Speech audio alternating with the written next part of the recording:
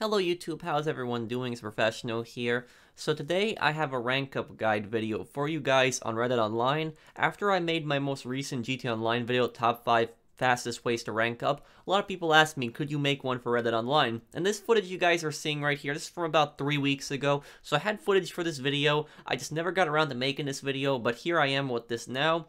And for this video, this is going to seem complicated what I'm doing, but it's really not. So for Red Dead Online, what you guys are going to want to do is you're going to want to go into the menu and you're going to want to go to progress and you're going to want to go to awards. And when you go into that, you're going to see so many different tabs. You're going to see one for sharpshooter, you're going to see one for combat, you're going to see one for trade, crimes, competitive. There's so many different ones, hunting as well.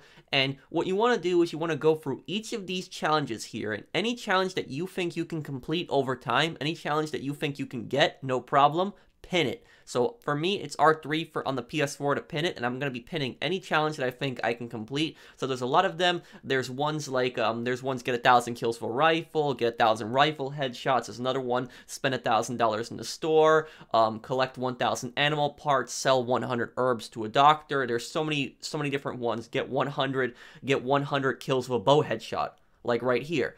And a lot of these, you're going to be doing these over time. So you're going to be multitasking. So you're going to want to pin these, get a whole list of them.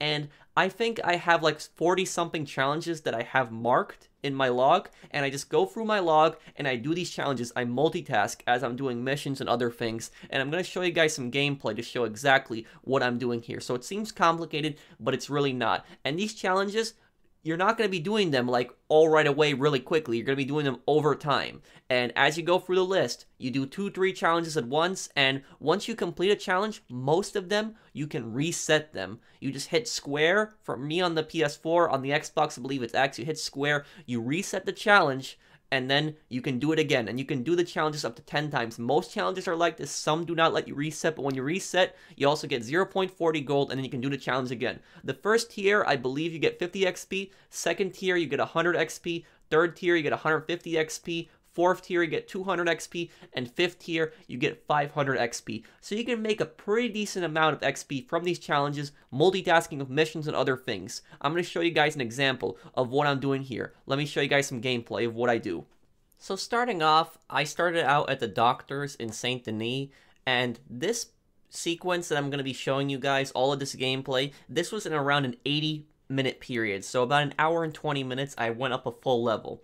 And what I'm doing here is I'm actually selling herbs to the doctor, and then I'm resetting the award, I get 0.40 gold, and then I start selling some more that I have left here. And I know what some people are going to think. Some people are going to think, but picking herbs, really? And then going and then selling them to the doctor? We're not really doing this for money. We're doing this for XP. And the herb selling challenge. It's part of the trade tab in the awards section. It's actually one of the best ways to rank up because once you get up on that final tier, you get 500 XP and you just need to sell 100 herbs. And you also get a herb picking challenge. So there's also an herb picking challenge that's to pick a thousand herbs. So you're going to be doing both simultaneously. And a lot of these, you're going to be doing them together. Like for instance, if I did the rifle headshot challenge, I could do the rifle headshot challenge and I could do the rifle kills challenge. So every time I get a kill with the rifle and I get a headshot, I'm doing two challenges challenges at once. So you want to multitask, and you also want to do missions in between. So you see right here, I'm also doing a mission.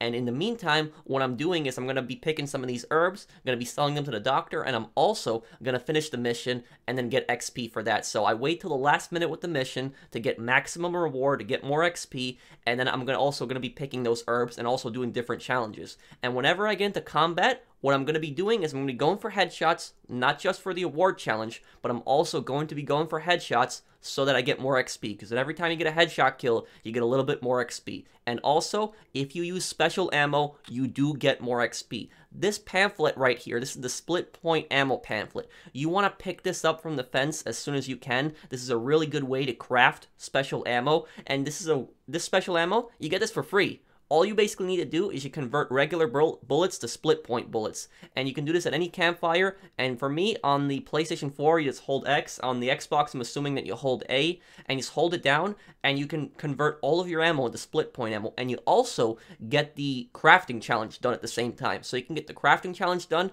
and rank up from that. So let me show you guys a few more challenges that I'm going to be doing along the way here to get some pretty quick XP. So here I am, I'm multitasking, I'm collecting herbs for that challenge, and I also get the challenge done here at the same time. So I think I pick this herb right here, and I get the survivalist for 500, 500 herbs picked. Let's take a look right here. Do I get it? Let's see. Yes, there it is. So I picked 500 herbs, and again, I didn't do this really quick. This I did over time. So as I was doing missions, you know, as I was doing different things, multitasking, I saw some herbs, I picked them, and then I sell them at the doctor, and I'm doing a second challenge, the herb selling challenge to the doctor. I also see some alligators here, and I start killing them. And not only am I killing them for money, so I could sell their meat and I could sell the pelt to the, to the butcher, but I'm also doing it for two different challenges. I'm doing it for the challenge where I sell meat and animal parts to the butcher, and also the one where I collect animal parts. So right here, take a look at this. I killed this alligator, and I'm going to show you guys my log. And this log, you guys are going to see all of my challenges in here. Look, I marked all the challenges, all the challenges that I think I could complete, I have in here. So I have 44 challenges in total. And whenever I look at this list, I always have one challenge I'm about to complete, almost always. So you want to take a look at these, see what challenges you have to complete, and just do them. And take a look at this, I get this alligator right here, and when I get this alligator right here, and I skin it, I get an award, and I get another challenge. I'm also getting 15 XP for killing the alligators. I think that this was from an event, I'm not certain on that, but take a look at this. Get this alligator here. Skin this. Let's see. Do I get my challenge? Look at that, 500 animal parts collected. So basically, even though it seems complicated, guys, it's not. And I got 200 XP right there. All you basically need to do is you just need to start, do missions. So start up a stranger mission, keep that mission running, go for headshots. Let me show you guys some combat right here, moving on go for headshots specifically. And if you do an execution, you get even more XP.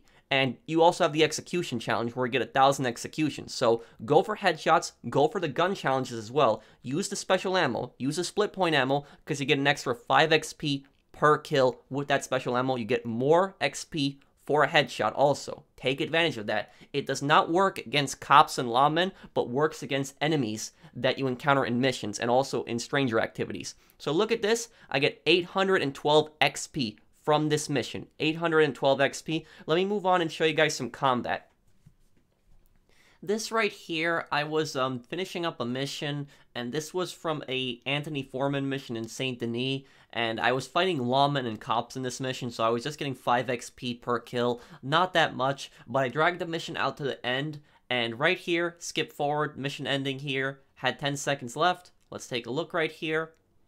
Look at this. I got Crimes Award. So I also got the Crimes Award challenge that I was also going for. I was wasting some time there. I got 440 XP with that. 440 XP with the mission, and the Crimes Award challenge. Okay, so now look, take a look at this. This is some combat against some regular enemies here, not just cops and lawmen. These enemies you get extra XP for, and you want to go for headshots. Like I said, use the split point ammo and go for headshots. In this one, I was using the high velocity ammo, I believe, because I ran out of split point ammo a little earlier, but use special ammo, use the split point ammo, and if you go for executions like I did right there, the easiest way to get an execution, in my opinion, is to just tackle them. You tackle them, and just press R2, use that rifle, use the special ammo, you get points for the special ammo, you also get points for the execution, points for the kill, and it also counts as a rifle kill. Unfortunately, it does not appear to count as a headshot, even though you technically are getting a headshot with the um, with the execution. But as you guys see, I'm just going for headshots, and then right after I kill these enemies, I'm going to loot all of them.